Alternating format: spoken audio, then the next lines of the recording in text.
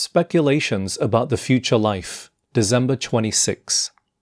For when they shall rise from the dead, they neither marry nor are given in marriage, but are as the angels which are in heaven.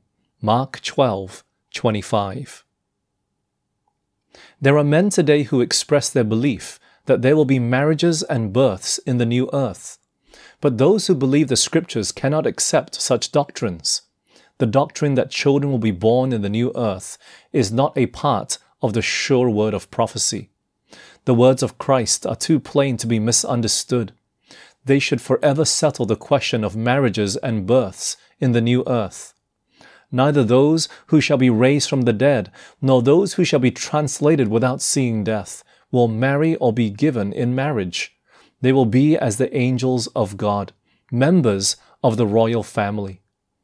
I would say to those who hold views contrary to this plain declaration of Christ, upon such matters, silence is eloquence.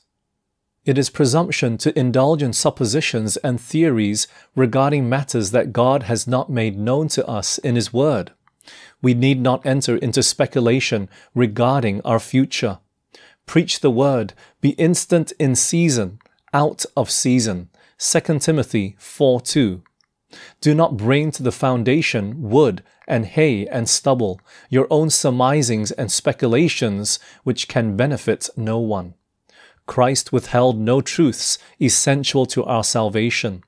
Those things that are revealed are for us and our children, but we are not to allow our imagination to frame doctrines concerning things not revealed.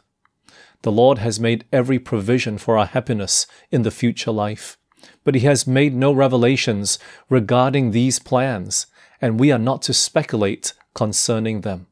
Neither are we to measure the conditions of the future life by the conditions of this life. It is presented to me that spiritual fables are taking many captive. To all who are indulging these unholy fancies, I would say, stop, for Christ's sake, Stop right where you are. You are on forbidden ground.